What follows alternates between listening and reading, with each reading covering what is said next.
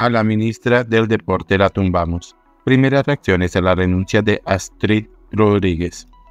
La salida de la funcionaria luego de perder los Juegos Panamericanos provocó varios comentarios de distintos sectores, en especial de la oposición. El primer remesón ministerial en 2024 se registró en la cartera de deporte en la que Astrid Rodríguez presentó su carta de renuncia luego de las innumerables críticas por su gestión en la sede de los Juegos Panamericanos que se perdió el 3 de enero por incumplimiento en los pagos a Pan Sport. La salida de la funcionaria dejó las primeras reacciones de distintas personalidades de la política. Varios de ellos habían pedido la salida de Rodríguez por las justas y otras irregularidades en su año de gestión, como lo ocurrido con los retrasos para los Juegos Nacionales en el eje cafetero. Hay que destacar que la ahora exministra del Deporte iba a afrontar una moción de censura en el Congreso que volverá a sesiones el 16 de febrero y en el Senado se esperaba que el presidente Iván Name presentara el orden del día para definir el proceso. El duro mensaje contra Astrid Rodríguez. En el momento que Colombia perdió los Juegos Panamericanos Barranquilla 2027, todos los ojos quedaron puestos en la entonces ministra del Deporte Astrid Rodríguez, que aceptó el incumplimiento del pago a Panam Sport de 4 millones de dólares el 30 de diciembre, lo que provocó el retiro de la sede. A través de su cuenta de X, el senador David Luna de Cambio Radical celebró que las funcionarias dieron paso al costado, pero resaltó que se dio justo en el momento que iba a enfrentar la moción de censura, la cual contaba con el 30% de apoyo en el Senado. A la ministra del Deporte la tumbamos los 32 senadores que firmamos la moción de censura que se haya apartado del cargo a menos de 24 horas de regreso a sesiones del Congreso no es casualidad.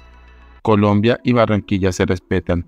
Mantendremos el debate para demostrar la verdad, escribió el congresista. Asume el costo político de una decisión de su jefe. Víctor Salcedo, representante por el partido de la U, fue uno de los congresistas que le hizo seguimiento a los retrasos del gobierno Petro para el pago de los derechos de cubrimiento a Panan Sport. Incluso desde septiembre de 2023 advirtió que no se tenía claridad de cómo saldría ese dinero. El congresista afirmó que la renuncia cantada de la ministra de Deporte Astrid Rodríguez revienta la cuerda por el lado más débil. La única responsable de la pérdida de la sede de los Panamericanos no fue ella. Asume el costo político de una decisión de su jefe. Cabe recordar que el presidente Gustavo Petro el 3 de febrero habría aceptado la responsabilidad de perder los Juegos Panamericanos junto con la pasada administración de Iván Duque por los incumplimientos con Pan Sport, organización a la que acusó de acabar de manera unilateral el contrato de las justas. Debe seguir el proceso de moción de censura.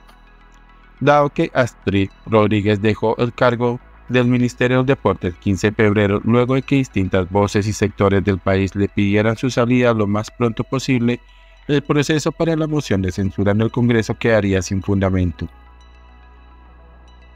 Sin embargo, para la senadora del Centro Democrático María Fernanda Cabal es necesario que continúe la iniciativa en el Congreso por el daño producido a Barranquilla, en especial por el dinero que la ciudad pagó a Pan Sport, que fueron más de 2 millones de dólares y no se sabe si la organización los devolverá.